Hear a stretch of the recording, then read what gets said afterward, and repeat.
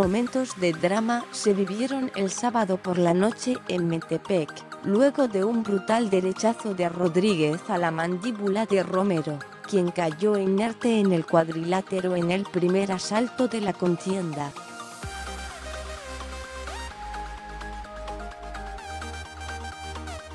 Un dramático y aterrador momento se vivió el sábado por la noche en Metepec, Estado de México, luego de que el boxeador Luis Fernando Zurdito Rodríguez propinara un escalofriante knockout a su rival Brandon Cristalito Romero, en los últimos segundos del primer round.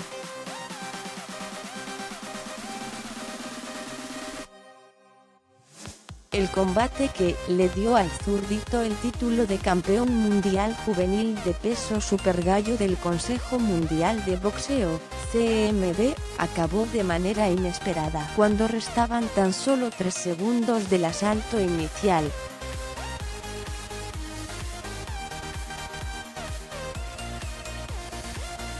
Rodríguez, originario de la Ciudad de México, ya le había dado una muestra a Romero del poder de sus puños, al mandarlo a la lona tras una combinación de golpes, de la cual el regio montano se reincorporó.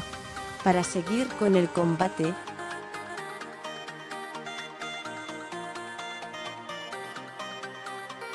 Sin embargo, y a pesar de la valentía del norteño, Rodríguez conectó un poderoso gancho de derecha sobre el rostro del cristalito que lo mandó directo y sin meter las manos a la lona.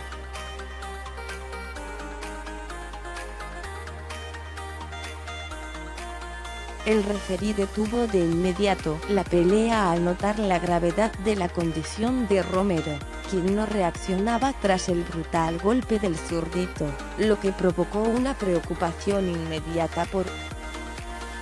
parte de todos los asistentes y una buena reacción de los servicios de emergencia para atender al cristalito.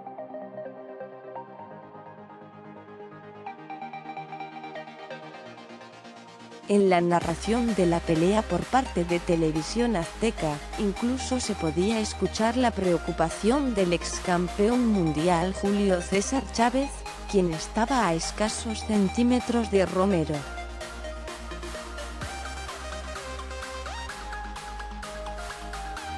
Está noqueado Rodo, está noqueado. ¡Ay Dios mío! Cuidado con eso, gritaba Chávez al ver la nula reacción y la mirada perdida de Romero ya en la lona.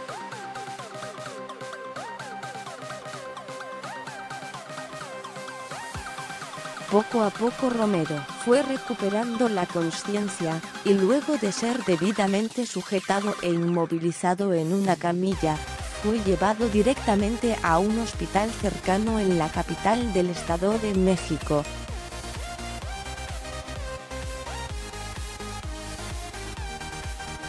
Rodríguez mejoró su marca a 10-0-0, y todas sus victorias han sido por la vía del cloroformo, demostrando una vez más que es un peleador a ser considerado como un buen prospecto para hacer algo importante en el terreno profesional.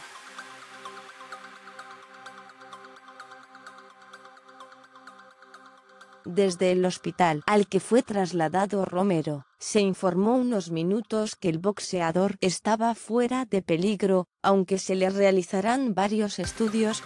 para descartar cualquier tipo de daño tras el espeluznante knockout.